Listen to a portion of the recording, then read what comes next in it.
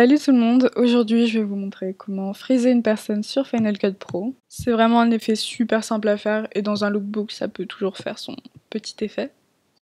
Donc voilà, premièrement il vous faudra un clip stable. Vraiment c'est super important sinon l'effet sera vraiment pas réussi ni beau. Et moi par exemple j'ai pas vraiment de clip stable, vous voyez que ma vidéo bouge pas mal. Donc pour régler ça je vais euh, cliquer donc sur mon clip. Et vous allez sélectionner, enfin cocher la petite case stabilisation. Vous allez attendre un petit peu que l'effet se fasse. Et c'est important de sélectionner le mode tripod, sinon vous allez voir que votre vidéo va bouger. Et on veut pas qu'elle bouge. Donc vous sélectionnez le mode tripod. Voilà.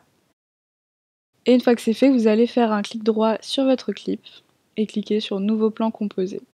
Et en fait, je fais ça parce que vous verrez qu'après, en fait, ça marchera pas si je fais pas nouveau plan composé. Mais bref. Donc vous allez faire un copier-coller de cette vidéo. Vous les superposez.